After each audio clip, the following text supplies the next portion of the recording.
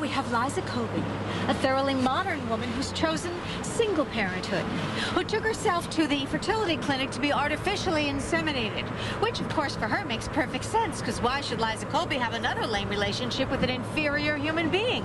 Inferior only because he happens to be male.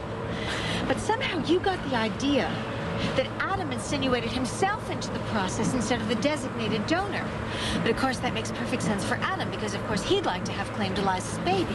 I thought this was none of your business. Which is why I'm not going to do anything about it. Unlike you, on the other hand, who seems hell-bent on, on getting to Marian and Stuart's wedding just so you can drop this bomb on Liza and wreck her life. I am trying to concentrate, Oh, okay? Yes, it has to be done in public, doesn't it? Public humiliation. Nothing else will do. Oh, oh that'll help. Well, I guess you really hate Liza Colby. What did she ever do to you? One more word out of you, Erica, and I'm gonna pitch you out of this car! You are not.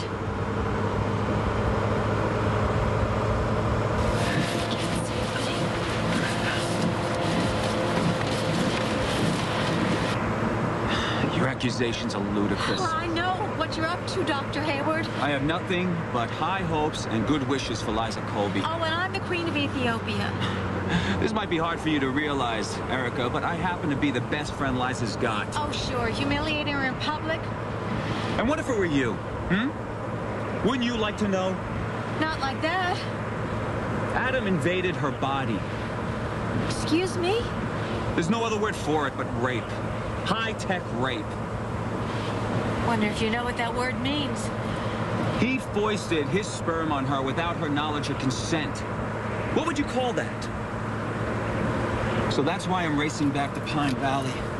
To tell Liza that she's not carrying Jake's baby before it's too late. Jake Martin? Jake Martin? Well, how did he get involved in this? He was the one she chose as a donor. Good genes, no strings, no involvement. It was a no-brainer. I don't believe this. Jake Martin now, I... Well, meanwhile, Adam, Adam, I, I have seen them together recently, and I just assumed that it was because of the wedding, but Adam, of course, he's never given in. So don't you think that Liza has a right to know what's really happening? And of course, Adam has promised to raise this baby. As if it were his own, that's right. Convenient offer, wouldn't you say? So that's why I'm racing back to tell Liza. Not to hurt her, but to stop this catastrophe. You are the biggest hypocrite I've ever met.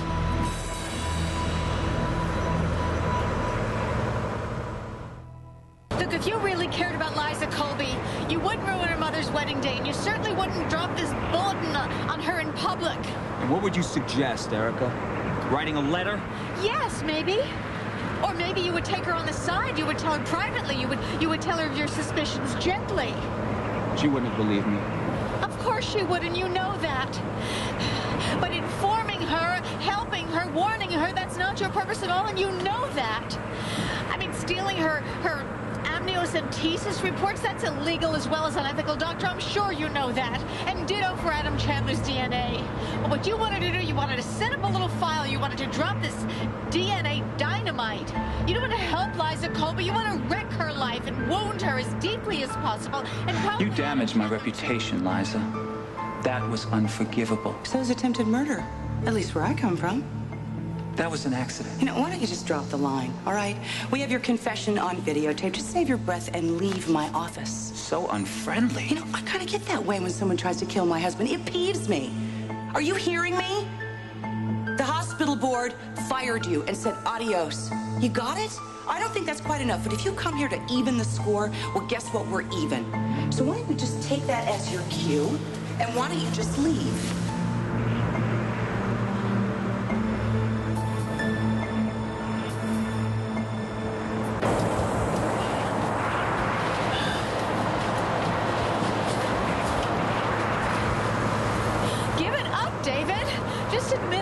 You're trying to wreck Liza's life. You know, I hate repeating myself, but I will do it for your sake. You don't know what the hell you're talking about. And you are the rudest, you're the most vile man I have ever had the misfortune to be in a car with. Just, just drop me off at the next exit. You're right.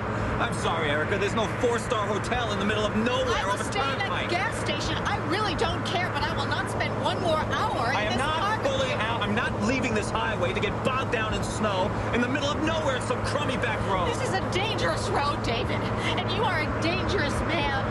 Now, I am not going to spend one more minute in this car with you. Just stop. I am not stopping this car in the middle of this snowstorm. Well, then you get ready to hear me scream. Look, if you don't shut your damn mouth, I'm gonna shut it for out!